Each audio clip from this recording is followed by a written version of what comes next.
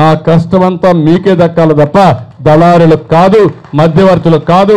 ఆ విషయం మీరు గుర్తుపెట్టుకోవాలి. డబ్బులు తింటున్నారని మాట్లాడతారు. ఊరికే ఇస్తే మీరు తీసుకుపోవచ్చు. ఎవరైనా అడ్డం వస్తే చెప్పండి వాళ్ళ తాట తీస్తాను. ఎవరైనా సరే ఎమ్మెల్యే కావచ్చు ఎవరైనా మంత్రి కానీ ఎవరైనా సరే మా ప్రభుత్వంలో కాదు అపోజిషన్ అయినా సరే ఎవరైనా అడ్డం వచ్చి ఒక్క రూపాయి వసూలు చేస్తే మీరు చెప్పండి వాళ్ళపైన కఠినంగా యాక్షన్ తీసుకుంటా అడ్డం వస్తే కూడా యాక్షన్ తీసుకుంటా. ఇది నేనంటా ఉంటే కావాలని నా మీద ప్రచారం. ఏదో నేను డబ్బులకు కక్కుర్తి పడుతున్నానని. డబ్బులకు కక్కుర్తి పడి పదకొండు కేసులు పెట్టించుకొని శుక్రవారం అయితే కోర్టుకు పోతూ మీరు నాకు నీతులు చెప్తారు వీళ్ళంతా.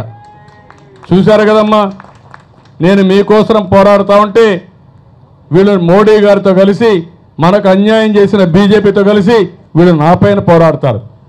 నాకు బీజేపీకి కానీ కేంద్రానికి ఏమన్నా నాకు విరోధం ఉందా? విరోధం లేదు. ఎవరి కోసం నా పోరాటం? మీకోసం నా పోరాటం. మీకు అన్యాయం చేశారు కాబట్టి న్యాయం చేయమని నిలదీశాను నిలదీస్తే మేము చేయమన్నారు.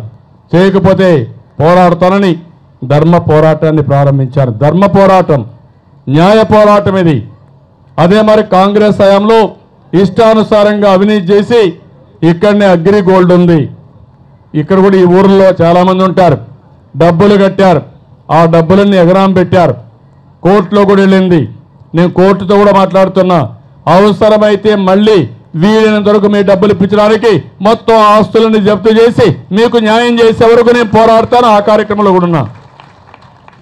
ఇలాంటివి నేను చేసుకుంటూ వస్తే నాకు అడ్డుపడడం నేను అభివృద్ధి చేయాలంటే అనునిత్యం నందెట్టడం ఊరూరుకు పోయి వీళ్ళు డబ్బులు ఇచ్చి మనుషులు తీసుకొచ్చి నన్ను తిట్టే కార్యక్రమానికి శ్రీకారం చుట్టారు.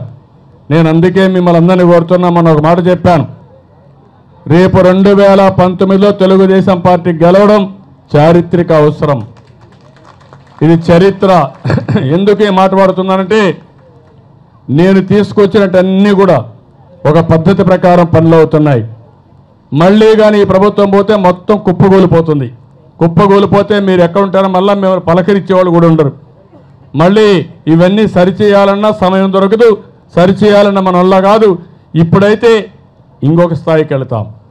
ఇప్పుడు చెల్లెమ్మ చెప్పినట్టు ఇప్పుడు ఒక స్థాయికి వచ్చాం. రాబోయే రోజుల్లో ఇంకా అవసరమైతే మీకు ఏమేం చేయాలనో పేదవాళ్ళకి ఎట్టండగా ఉండాలనో ఆదాయం పెరుగుతూ ఉంటే పెరిగిన ఆదాయం ఈ పేదవాళ్ళకే పంచాలనేది నా ఆలోచన తప్ప డబ్బులుండే వాళ్ళకి కాదు. ఆ కార్యక్రమానికి శ్రీకారం చుట్టాం. ఇది నిరంతరం ఆర్థిక అసమానతలు తగ్గించాలి. ఎందుకంటే సంపద సృష్టించాలి. వచ్చిన సంపద మళ్ళా పింఛన్లు ఇవ్వాలి. లేకపోతే బియ్యం ఇవ్వాలి. లేకుంటే భరోసా కింద మనం పెన్షన్స్ ఇవ్వాలి బీమా ఇవ్వాలి పెళ్ళి కోసం ఇవ్వాలి మీ పిల్లలను చదివించాలి. ఇంకా ప్రయోజకులు చేసుకోవాల్సిన అవసరం ఉంది. ఇది అందరి సమాజంలో ఉన్న అందరి కోసం నేను పనిచేస్తున్నా. అందులో పేదవాళ్ళకు దగ్గరగా ఉంటా. పేదవాళ్ళకు అన్ని విధాలు అండగా ఉంటా. నేను మిమ్మల్ని కూడా కోరేది ఒకటి అన్ని వాస్తవాలు మీరు ఆలోచించాలి. చెప్పే మాటలు కూడా మీరు అధ్యయనం చేయాలి. ఎవరు ఎవరి కోసం నేను పనిచేస్తున్నా మీకోసం పనిచేస్తున్నా మీకోసం పనిచేసినప్పుడు మీరు నన్ను ఆశీర్వదించాలా లేదా అని మిమ్మల్ని అందరిని అడుగుతున్నాను. ఎందుకంటే